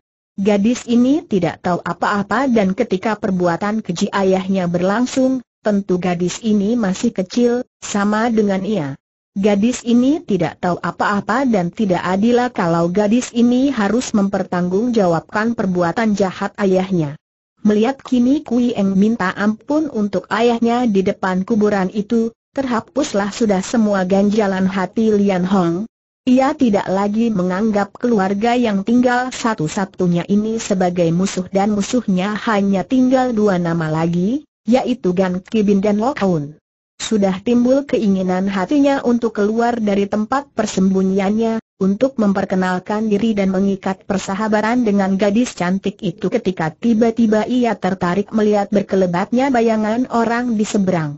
Kemudian terdengar suara ketawa dan tahu-tahu telah meloncat seorang laki-laki di dekat Chiu Kui Eng yang juga terkejut dan gadis itu sudah meloncat bangun menghadapi laki-laki itu. Lian Hang tetap bersembunyi dan menonton dengan hati tegang. Melihat kemunculan laki-laki itu, Lian Hang dapat menduga bahwa laki-laki itu tentu seorang yang memiliki ilmu kepandaian tinggi sekali. Ia tadi hanya melihat bayangan saja berkelebat dan tahu-tahu laki-laki itu telah berada di dekat Kui Eng. Laki-laki itu bertubuh tinggi kurus, mukanya yang berkulit kehitaman itu jelas membayangkan kekejaman, matanya yang mencorong hijau itu dan senyumnya yang sinis membayangkan kelicikan. Kepalanya mengenakan sebuah topi batok dan rambutnya yang gemuk hitam dikuncir, keluar dari belakang topinya dan melilit lehernya. Matanya yang mencorong seperti mata kucing atau mata burung hantu di waktu malam itu memandang ke arah Kui Eng dengan penuh kagum dan senyumnya makin menyeringai sadis. Melihat munculnya orang yang tak dikenalnya ini, yang memandangnya seperti itu dengan mulut menyeringai, Kui Eng menjadi marah. Bangsat dari manakah berani menggangguku bentaknya, siap untuk menyerang. Akan tetapi laki-laki itu malah terkekeh, suara ketawanya seperti burung hantu dan hal ini tentu saja membuat Kui Eng merasa ngeri dan memandang tajam dan penuh keheranan, menduga-duga apakah yang dihadapinya ini bukan orang gila. Akan tetapi, tiba-tiba pria itu mengeluarkan suara gerengan yang menggetarkan tempat itu. Lian Hang yang berada dalam tempat persembunyiannya, terkejut bukan main ketika merasa betapa jantungnya terguncang keras. Tahulah ia bahwa pria itu telah mempergunakan tenaga hikang dalam suaranya dan suara itu merupakan serangan yang ganas dan berbahaya sekali. Maka ia pun cepat menahan napas mengerahkan sinkang untuk melindungi jantung dan telinganya. Kui Eng juga terkejut bukan main karena ia merasa betapa jantungnya terguncang. Ia yang berdiri dekat pria itu dan yang menjadi sasaran serangan lengkingan itu, hampir saja roboh. Akan tetapi, sebagai murid T.E. Tok yang sakti, tentu saja ia tahu apa yang harus dilakukannya menghadapi serangan tiba-tiba itu. Serangan suara itu datangnya terlalu mendadak sehingga ia kedahuluan atau kecurian, cepat ia mengerahkan sinkang dan memejamkan mata untuk beberapa detik. Inilah yang mencelakakannya. Dan agaknya ini pula yang telah diperhitungkan dengan masak oleh pria yang nampaknya amat cerdik itu. Begitu Kui Eng memejamkan mata, Pria itu sudah mengeluarkan sehelai sapu tangan merah yang sudah dipersiapkannya dan sekali mengebutkan sapu tangan di depan muka Kui Eng, ada bubuk merah yang baunya harum keras memasuki hidung gadis itu. Kui Eng terkejut, maklum apa artinya itu ketika hidungnya menyedot bau harum keras. Ia mengeluarkan teriakan dan meloncat ke belakang, akan tetapi ia terhuyung karena mulai dipengaruhi bubuk racun pembius. Ia seorang gadis yang lihai dan kuat, maka racun bubuk itu tidak membuatnya roboh, hanya terhuyung dengan kepala pening. Dan agaknya ini pun sudah diperhitungkan oleh pria itu, karena dengan langkahnya yang lebar dia telah mengejar dan menyerang dengan kedua tangannya yang besar. Dua lengan yang panjang itu bagaikan ular-ular hitam meluncur. Andai kata ia tidak berada dalam keadaan pening, tentu Kui Eng tidak akan mudah dirobohkan. Akan tetapi gadis ini telah kecurian, telah menyedot bubuk racun pembius sehingga menghadapi serangan dua tangan itu, ia tidak mampu mempertahankan diri. Sebuah totokan pada pundaknya membuat ia terkulai lemas. Hai hai hai pria itu lalu menyambar tubuh Kui Eng, dipanggulnya dan dibawanya lari pergi dari kuburan itu. Lian Hang terkejut bukan main. Ia sendiri pun tadi mengerahkan tenaga melindungi dirinya dari serangan suara maut itu. Dan melihat betapa Kui Eng ditawan, tentu saja timbul niat hatinya untuk membantu gadis itu. Akan tetapi ia teringat, Bagaimanapun juga, Kui Eng adalah putri seorang yang amat kejam. Ia tidak mengenal Kui Eng dan belum tahu bagaimana watak gadis itu. Ia pun tidak mengenal pria itu dan tidak tahu apa yang telah terjadi di antara mereka. Ia tidak tahu siapa yang bersalah di antara keduanya maka kini timbul perbuatan itu. Siapa tahu kalau-kalau Kui Eng yang telah melakukan kesalahan dan pria itu datang untuk menangkapnya atau membalas dendam? Ia harus berhati-hati dan tidak boleh sembrono dalam mencampuri urusan dua orang yang belum dikenalnya. Maka ia pun cepat membayangi tubuh pria yang melarikan Kui Eng. Orang itu, biarpun memanggul tubuh seorang gadis, dapat bergerak cepat bukan main, berloncatan di antara batu-batu yang besar seperti seekor kera saja. Akan tetapi Lian Hang juga seorang gadis yang memiliki ginkang yang tinggi sehingga tidak terlalu sukar baginya untuk membayangi terus. Tiba-tiba saja ia kehilangan orang yang dibayanginya. Lian Hang terkejut. Cepat ia menghampiri tempat di mana bayangan tinggi kurus itu melenyapkan diri. Ia hanya melihat sekumpulan batu-batu yang besar. Sama sekali tidak ada tempat untuk menyembunyikan diri, akan tetapi tiba-tiba saja orang itu telah lenyap. Lian Hang merasa penasaran dan ia mencari-cari, menjenguk ke belakang setiap batu besar. Namun orang itu bersama tubuh Kui Eng lenyap seperti pandai menghilang saja. Lian Hang yang merasa penasaran dan khawatir akan keselamatan Kui Eng, tidak mau meninggalkan bukit itu, terus berkeliaran mencari-cari. Sampai lama ia mencari, sampai senja mulai membawa kegelapan menyelimuti bukit, tetap saja ia tidak berhasil menemukan pria yang melarikan Kui Eng. Ia mulai putus harapan dan mulai mengira bahwa tentu laki-laki itu memiliki jalan rahasia dan kini tentu sudah jauh meninggalkan tempat itu. Ia mulai melihat-lihat ke sekeliling bawah bukit, berniat untuk meninggalkan tempat itu, kembali ke kuburan orang tuanya ketika tiba-tiba ia mendengar jerit suara wanita yang keluar dari dalam bukit, dari bawah tanah yang dipijaknya. Lian Hang meloncat dengan kaget. Bayangan itu tadi lenyap seperti ditelan bumi dan kini ada suara jeritan wanita dari bawah bumi. Ditelan bumi ah, tentu saja. Kenapa ia begitu bodoh? Satu-satunya tempat di mana orang tadi melenyapkan diri, tentu di dalam bukit di bawah bumi, di bawah batu-batu itu. Tentu ada jalan rahasia ke situ. Terdorong oleh jeritan tadi yang ia duga tentu suara Kui Eng, Lian Hang mulai mencari-cari, mengguncang setiap potong batu, meraba-raba di dalam cuaca yang mulai gelap. Ia hampir putus asa karena batu-batu itu tidak ada yang menyembunyikan rahasia ketika tiba-tiba ada sinar mencorong dari celah-celah antara batu. Ia merasa girang sekali dan cepat ia meloncat mendekati batu-batu itu. Tak salah lagi. Ada sinar terang menyorot keluar melalui celah-celah batu, sinar yang datangnya dari bawah. Dengan hati-hati ia pun mempergunakan tangannya yang dialiri tenaga sinkang untuk menggeser batu besar dan ia berhasil. Di balik batu besar itu terdapat sebuah lubang terowongan ke bawah tanah. Dengan hati-hati sekali Lian Hang lalu menuruni lubang itu dan ternyata terdapat tangga batu menuju ke bawah dan ia dapat merayap ke bawah dituntun oleh sinar terang yang menyorot dari bawah. Akhirnya, Tangga batu itu membawanya ke sebuah ruangan yang garis tengahnya tidak kurang dari 6 meter dan ketika ia mengintai, hampir saja ia mengeluarkan seruan keras karena kaget, ngeri dan marah. Lian Hang mengintai dari balik pintu batu, dengan alis berkerut dan mata mencorong marah memandang ke dalam. Di tengah ruangan itu nampak Kui Eng berdiri dengan kedua lengan tergantung. Kedua pergelangan tangannya terikat ke atas dan tergantung, demikian pula kedua pergelangan kakinya. Dan pakaian gadis itu sudah robek-robek membuatnya hampir telanjang. Bagian-bagian tubuh gadis itu nampak jelas di antara robekan-robekan yang membuat pakaian itu cabik-cabik dan hampir tanggal dari tubuhnya. Wajah gadis itu pucat sekali dan nampak titik-titik air mata membasahi mata dan kedua pipinya.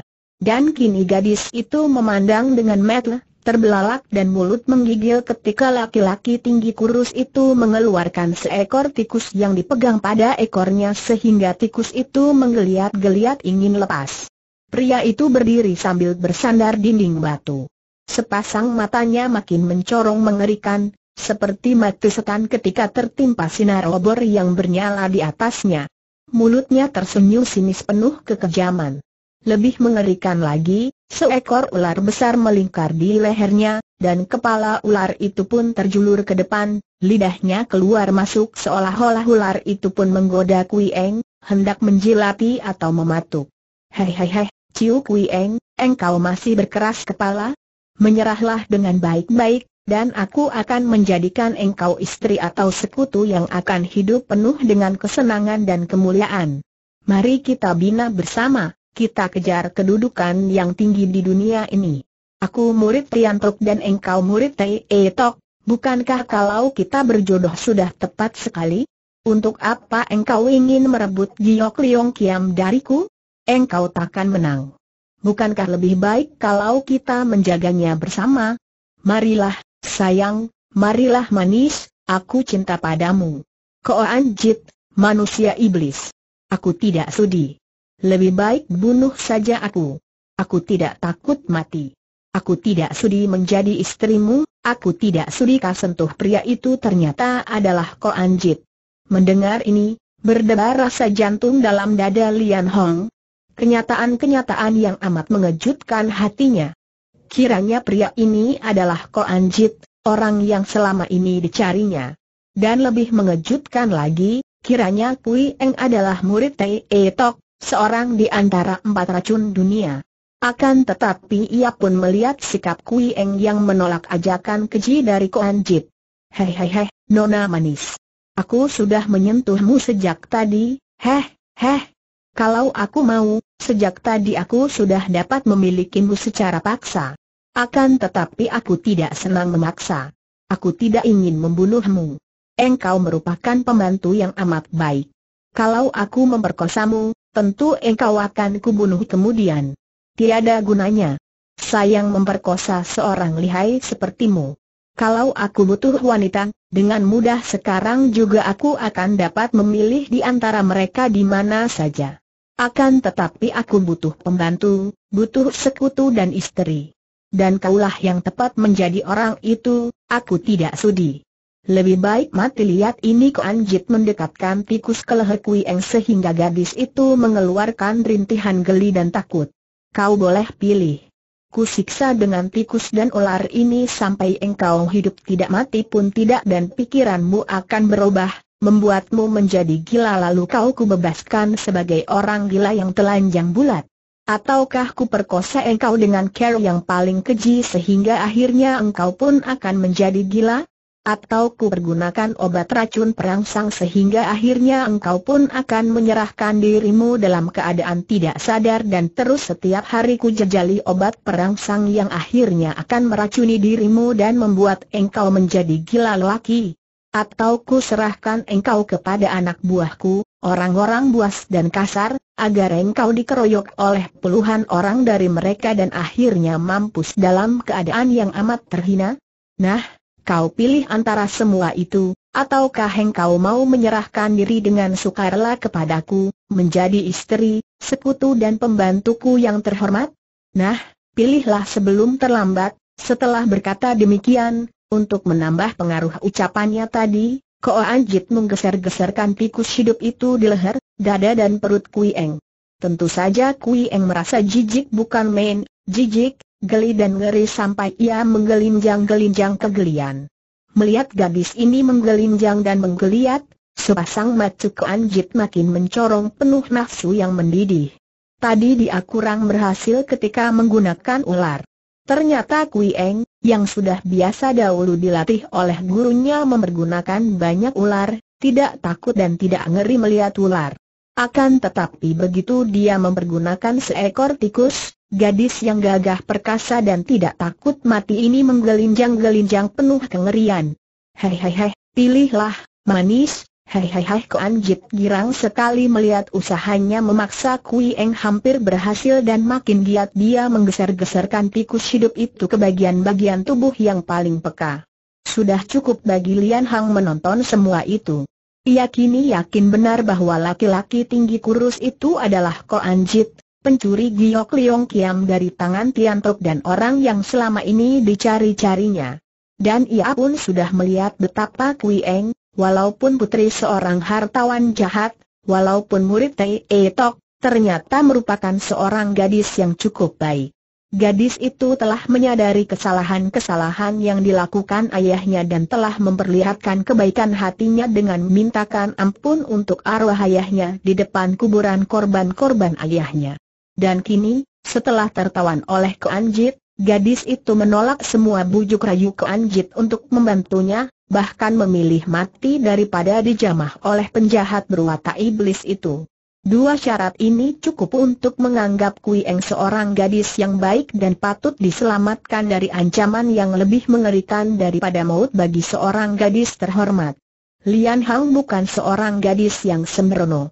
Tidak, biarpun ia pendiam dan sederhana, namun ia seorang yang amat cerdik.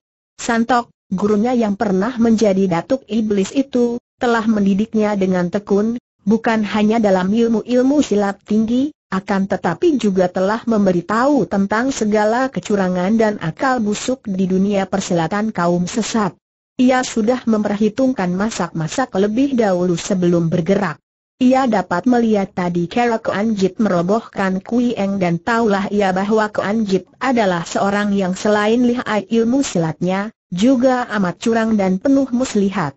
Oleh karena itu, kalau ia maju begitu saja menyerang ke Anjit dengan kekerasan, banyak sekali bahayanya dan mungkin saja ia tidak akan berhasil menolong Kui Eng, malah ia bisa tertawan pula. Dan ia harus berhasil menolong Kui Eng.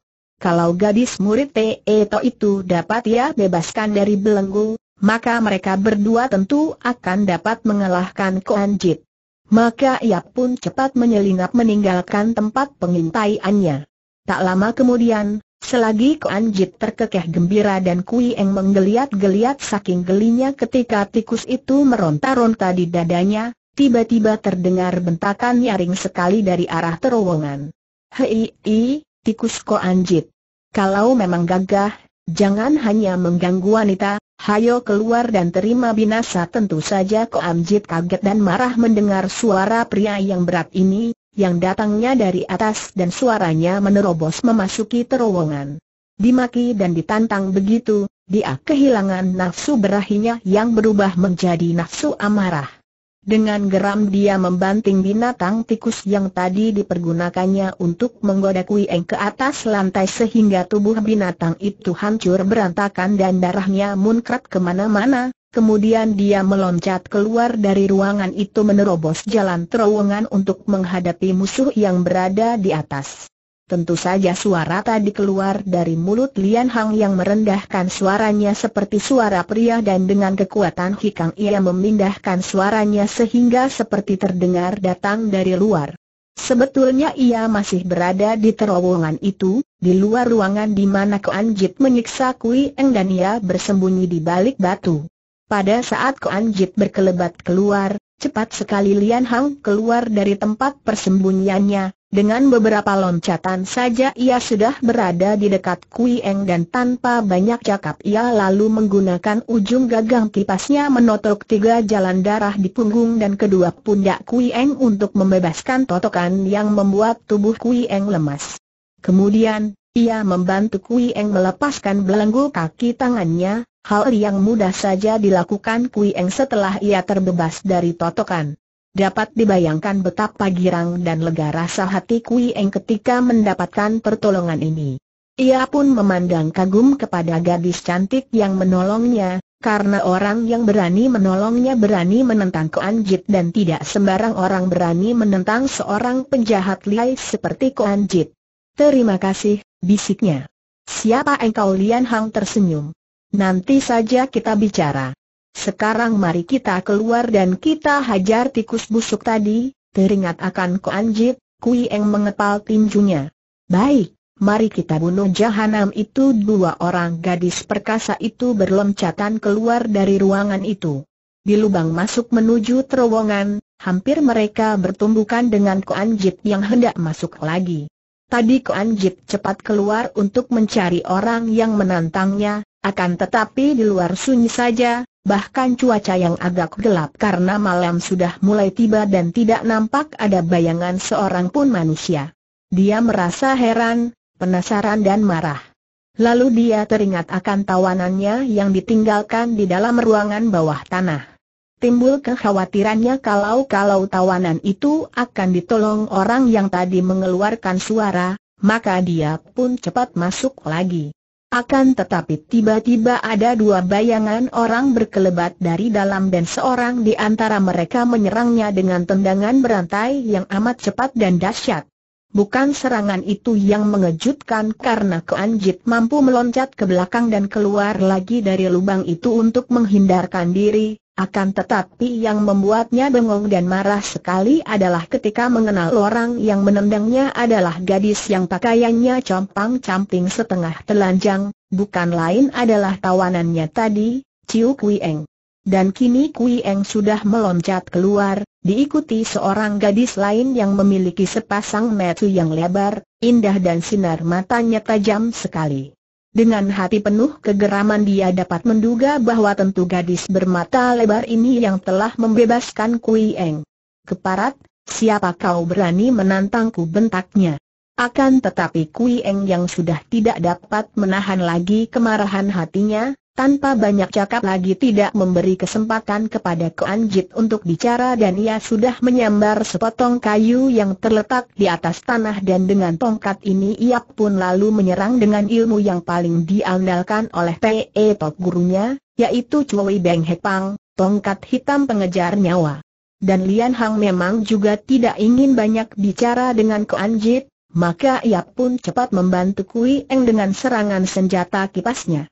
Dengan gerakan aneh gagang kipasnya menyambar-nyambar dahsyat menghujankan totokan-totokan maut ke arah jalan darah di tubuh bagian depan lawan. Menghadapi serangan dua orang gadis itu, Ko Anjit terkejut bukan main. Melihat betapa tongkat di tangan Kui Eng itu hanya sebatang cabang pohon akan tetapi dapat berubah menjadi senjata yang luar biasa ampuh dan berbahayanya, dia tidak merasa heran karena maklum betapa lihainya guru gadis itu. Akan tetapi melihat betapa kipas di tangan gadis bermata lebar itu tidak kalah hebatnya dari tongkat Kui Eng, dia benar-benar terkejut dan terpaksa dia mengerahkan seluruh kecepatan gerakannya untuk menghindarkan diri dari cengkeraman maut. Dia mengelak dan berloncatan ke sana-sini, sedikit pun tidak mempunyai kesempatan untuk balas menyerang. Demikian hebatnya dua orang gadis itu menyerang. Ko Anjit mengenal lawan tangguh. Memang ada rasa penasaran di dalam hatinya bahwa dia kehilangan Kui Eng yang sudah berada dalam cengkeramannya, dan merasa penasaran pula dia bahwa dia tidak mampu mengalahkan dua orang gadis muda. Akan tetapi karena dia tahu bahwa kalau dia terlalu lama menghadapi dua orang gadis ini, mungkin saja dia akan celaka di tangan mereka, maka dia pun mengeluarkan suara gerengan yang menggetarkan itu. Akan tetapi sekali ini, Kui Eng dan Lian Hang sudah siap. Mereka tahu bahwa lawan ini memiliki ilmu semacam gerengan harimau yang berbahaya, maka mereka pun cepat mengerahkan sinkang untuk melindungi diri masing-masing sehingga tidak sampai didahului daya serangan suara itu. Sambil melindungi diri dengan pengerahan sinkang, Tongkat dan kipas di tangan dua orang gadis itu masih terus menyambar-nyambar dahsyat menghujankan totokan dan pukulan maut ke arah tubuh Ko Anjit. Ko Anjit mengeluarkan sapu tangan merahnya. Akan tetapi juga untuk menghadapi itu, Lian Hang dan Kui Eng sudah siap siaga. Maka ketika Ko Anjit mengebutkan sapu tangannya, Dua orang gadis itu sudah menahan napas dan kini tongkat di tangan Kui Eng menyambar ke arah sapu tangan itu pada saat kipas Lian Hang menotok pinggang. Bertanda seru sapu tangan merah itu pun terobek oleh ujung tongkat. Ko Anjit mengeluarkan seruan kaget dan sekali meloncat dia telah pergi jauh dan tanpa menoleh atau merasa malu-malu lagi, Ko Anjit yang merasa betapa dua orang gadis itu merupakan lawan yang terlalu berat, dan selain itu juga dia khawatir kalau-kalau Tei Tok, guru Kui Eng muncul, segera melarikan diri. Jahanam busuk, hendak lari ke mana kau Kui Eng membentak dan mengejar, diikuti Lian Hong. Akan tetapi Koanjit memang memiliki ginkang yang luar biasa. Tubuhnya berkelebat cepat dan walaupun dua orang gadis itu pun memiliki ginkang yang hebat pula, namun tidak mampu menyusul ke Anjit yang menghilang di antara pohon-pohon yang gelap. Apalagi ke Anjit mengenakan pakaian serba hitam, maka sukarlah untuk mengejarnya setelah dia masuk hutan. Dua orang gadis itu pun maklum betapa berbahayanya mengejar seorang licik macam ke Anjit itu di dalam gelap, apalagi pakaian orang itu hitam. Terpaksa mereka menghentikan pengejaran mereka di luar hutan. Baru sekarang dua orang gadis itu memperoleh kesempatan untuk saling berkenalan dan bicara. Mereka berdiri saling pandang. Keduanya sebaya dan memiliki bentuk tubuh yang hampir sama. Keduanya memang cantik dan manis, akan tetapi memiliki daya tarik yang berbeda. Lian Hang adalah seorang gadis yang amat sederhana, baik pakaiannya maupun gerak-geriknya, dan daya tariknya yang paling kuat terletak pada sepasang matanya yang lebar. Mukanya berbentuk bundar dan kulitnya halus putih dengan sepasang alisnya yang hitam nampak menyolok di wajah yang putih itu. Sedangkan Kui Eng berwajah bulat telur, sepasang matanya tajam dan mengandung keangkuhan, dan agaknya daya tarik yang paling kuat terletak pada mulutnya yang amat manis itu, manis menggairahkan. Adik yang manis, engkau telah menyelamatkan aku dari cengkeraman bahaya yang lebih mengerikan daripada maut. Aku berterima kasih sekali, kata Kui Eng. Sudahlah, Enci. Wanita mana pun melihat kekejian keanjit itu terhadap dirimu, tentu akan berusaha untuk menolongmu. Jahanam itu memang pantas dilenyapkan dari permukaan bumi, siapakah namamu? Aku bernama Lian Hong, adik Hong, namaku Chiu Kui Eng. Mudah-mudahan di lain kesempatan aku akan dapat membalas budimu, sudahlah, Enci Kui Eng. Sudah kukatakan tadi, hal itu tidak perlu dibicarakan lagi. Maaf, sekarang aku harus pergi. Sampai jumpa lagi, eh, nanti dulu, adik Hang Kui Eng menahan dan memegang lengan Lian Hang yang tentu saja tidak jadi meloncat pergi. Engkau hendak ke mana?